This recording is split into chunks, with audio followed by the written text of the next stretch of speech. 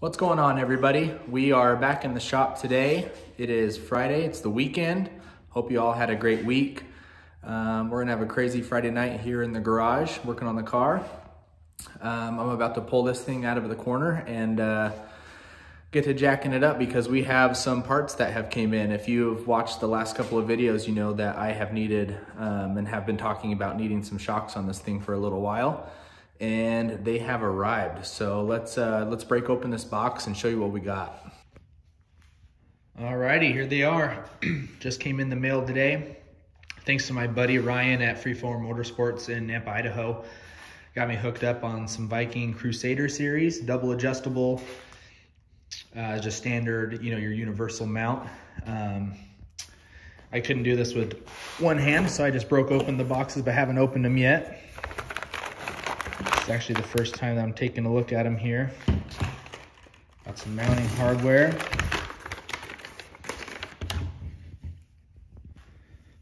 Nice. Those are gonna look so much better. The car's gonna perform so much better, I'm sure. Hopefully be doing some wheelies now. And I would guess that this was the spring here. Yeah. Sweet. Those are gonna look good. I'm going to uh, read the directions there on how to assemble these, if I need any anti-seize on these, uh, on these threads. Um, pull the car out, kind of do a quick measurement with just the shock up against the ones that are in the car to get a general idea if these ones are gonna fit. I have already measured them and sent the dimensions to Ryan, so um, and he ordered off of those. So they should fit, but I'm gonna do kind of a test fit up against them to make sure. And yeah, we'll get started. Okay, so I did the first little test fit. I brought the car down. Um, I measured the ride height on each side. Left side was at 25 inches, right side 24 and 3 quarter. That's to the middle of the fender. Um, and I wanted to see, I read the directions and they said that Viking, or Viking recommends that you have at least 60% of your shock um, for the compression stroke. So measuring it up against what I have in the car now, um, that's about how much shock is showing at ride height. And uh, see if I can do it here. If I pull it out a little bit more,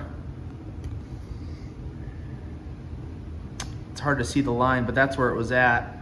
Um, I would say it's pretty close to 60% that I have there uh, of compression. So I think these should work just fine. I'm gonna jack the car up and bring the rear end down um, and make sure that these are long enough that way just for, you know, simply putting them on. Um, see if I have enough length here, which I think I should. So uh, we're gonna do that next. So it looks like these Vikings are actually a tad bit shorter. I know it's kind of hard to tell, maybe half an inch or something like that, which I don't think is the biggest deal. I can just, I can lift up the rear end a little bit when I'm putting these in and um, I won't need, I won't need any more than that extension ever. So we should be good.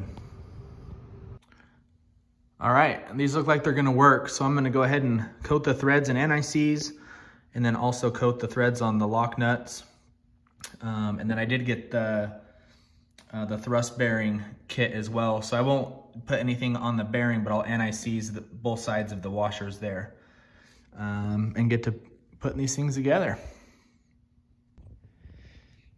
Alrighty, I got both shocks built here.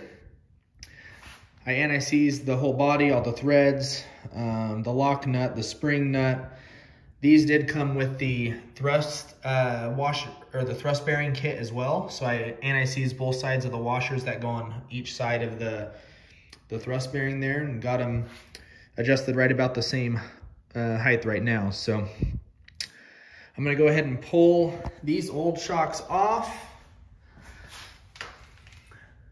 Go ahead and pull those off throw the new ones on and I believe the hardware that's on those shocks are gonna work with this one. Um, I could, I had a little bit of bolt sticking through on the, on the stock ones um, and it fits through the new, fits through the new rod ends. So I'm gonna go ahead and get these guys removed and we'll go from there. All right, got it all finished up. New shocks are installed. Here's the old ones here. I think these have definitely seen some better days. The first thing I noticed, and I, I, think I have a picture I can show you, but when these were on the car sitting at ride height, there was maybe only about that much of rod showing.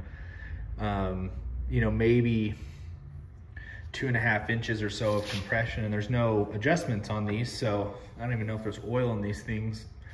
Uh, so there was no compression at all. You could press down on the back of the car and you could hear it bottoming out. Um, and I think that's what was causing a lot of my issues last year. The car would launch, it would squat and bottom out and it would just, you know, put the front end back down. It just wasn't making for smooth launches at all. So these should definitely be a big upgrade.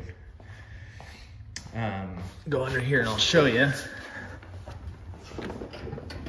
There is, sitting at ride height, a lot more shock showing here.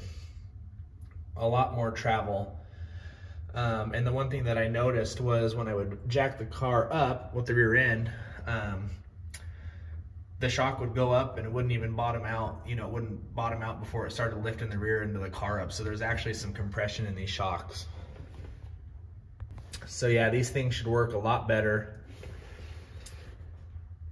They look a lot better. I wish I had some silver NICs, but I'll just get these where I want them and uh, just clean those up a little bit. I do have the car set at ride height how I want it.